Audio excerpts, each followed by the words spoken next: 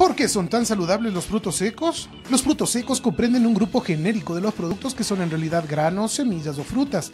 Tienen en común una baja concentración de agua y un elevado contenido de grasas.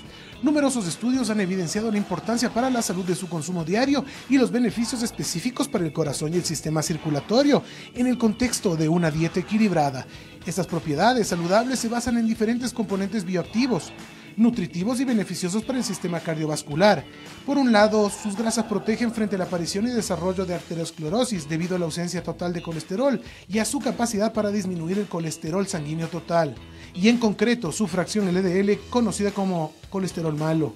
A este efecto, ya de por sí beneficioso, se añade el hecho de que consumirlos mantiene o incrementa la forma ligera del colesterol HDL, o bueno, por lo que el riesgo cardiovascular totalmente disminuye.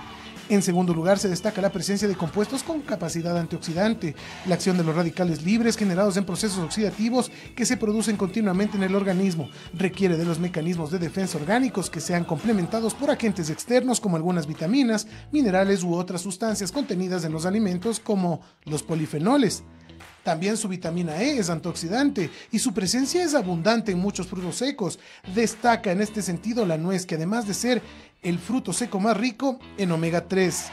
Sí, ricos en fibra, proteínas y minerales. Otro componente importante de los frutos secos es la fibra, que además de prevenir el estreñimiento inhibe la absorción digestiva del colesterol que aportan algunos alimentos. Los frutos secos son en general una buena fuente de proteínas, del 10 al 25% se destacan por su riqueza en arginina, este aminoácido da lugar a la formación de óxido nítrico, compuesto que favorece en buen tono muscular en la pared de las arterias al facilitar su dilatación y disminuir el riesgo de hipertensión arterial.